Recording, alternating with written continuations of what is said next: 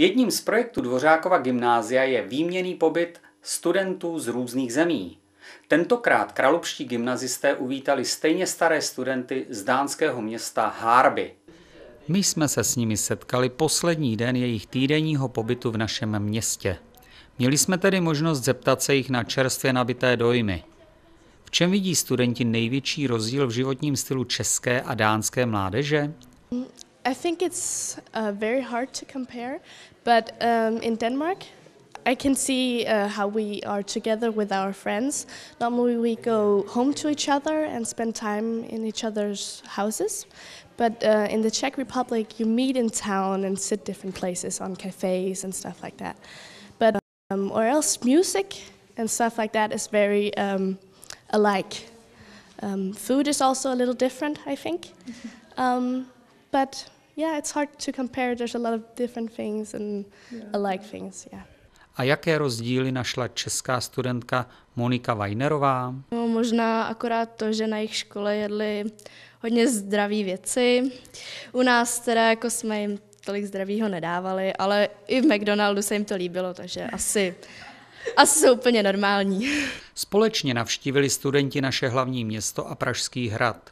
Další den vymysleli hostitelé výlet do Liberce na Ještět a do IQ parku Babylon.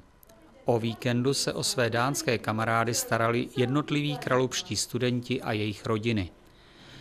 V jednotlivých rodinách také studenti celý týden bydleli a měli tak možnost porovnat denní život doma a u nás. Jaký jste vymysleli program na víkend?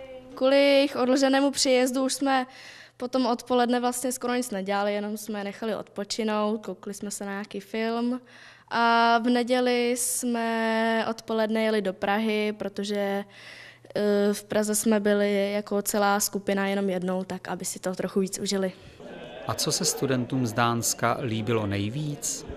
I was uh, very happy with uh, Prague, the yeah, the capital, and uh, I think it's a great city, and you can see the cultural uh, buildings and uh, how it's been a great city in the past. Výměné pobyty jsou z vícero důvodů výhodné. Studenti spolu komunikují anglicky, poznávají odlišné kultury a životní styly a některá nová přátelství mohou vydržet i do budoucna. Jaký největší přínos v nich vidí organizátorka tohoto projektu? No asi ta angličtina, protože uh, ověří si, co všechno znají, umějí, že prostě ta výuka má nějaký smysl. A na druhou stranu asi i to, že poznají prostě život, poznají, jak to vypadá v rodinách. My jsme měli štěstí, že jsme vlastně přes týden bydleli v Dánsku ve škole, takže i viděli, jak to vypadá v té škole. Jak vznikla spolupráce právě s touto dánskou školou? Takže letos vlastně nás eh, oslovili sami dánové, našli si naši školy nebo profil naší školy na internetu a na základě toho nás oslovili eh, s nabídkou, jestli bychom nechtěli mm, eh, přijet k ním nebo uspořádat tuhle výměnou akci.